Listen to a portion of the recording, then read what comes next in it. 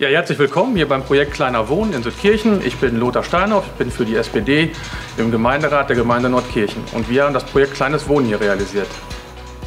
Mein Name ist Daniela Korobka von Steinhoff Architekten und ich leite die Abteilung Planung und Projektentwicklung. Wir beschäftigen uns mit diesem Thema seit 2018.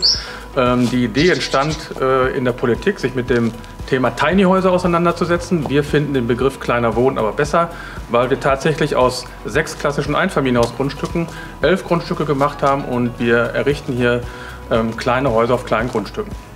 Wir haben ein Konzept entwickelt mit insgesamt drei Gebäudetypen. Wir befinden uns gerade im Haus Typ B mit insgesamt 55 Quadratmeter Wohnfläche, einem großzügigen Koch-, Ess- und Wohnbereich, einem separaten Schlafbereich, Badezimmer und einem Abstellraum.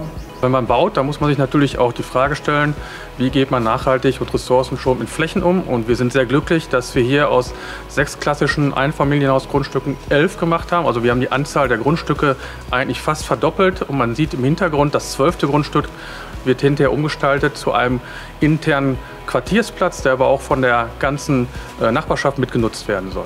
Die Bewohner entscheiden selber auch, wie der Platz gestaltet werden soll. Es gibt erste Ideen, zum Beispiel soll dort wohl eine Feuerstelle entstehen, eine Skulptur soll erarbeitet werden und das wird in den nächsten Wochen, und Monaten ähm, gemeinsam herausgearbeitet. Uns als SPD ist es natürlich wichtig, dass wir bezahlbaren Wohnraum entwickeln und hier haben wir ein tolles Beispiel dafür, dass man eben auf kleiner Fläche und in kleinen Häusern ähm, top modern auf höchstem energetischen Niveau trotzdem bezahlbar wohnen kann.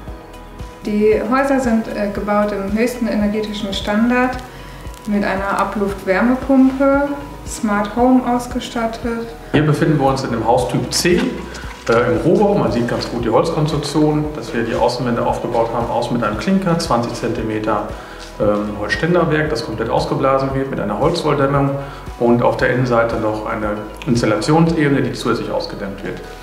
Das Gebäude ist klassisch auch eben geeignet für eine junge Familie. Hier unten wäre der Bereich Küche, Essen, Wohnen, ein Gäste-WC, ein großzügigen Technikraum und im oberen Bereich sind dann auch noch zwei große Zimmer und das Bad. Ich bin überzeugt davon, dass das Projekt Kleines Wohnen, was wir hier realisiert haben, ein gutes Beispiel dafür ist, wie man ressourcen- und flächenschonend mit dem Thema Wohnen umgeht. Wir merken das auch daran, dass sich tatsächlich viele Kommunen und Gemeinden aus der Region, aber aus ganz Deutschland bei uns melden und sich dieses Projekt anschauen wollen. Kleiner wohnen, schöner wohnen.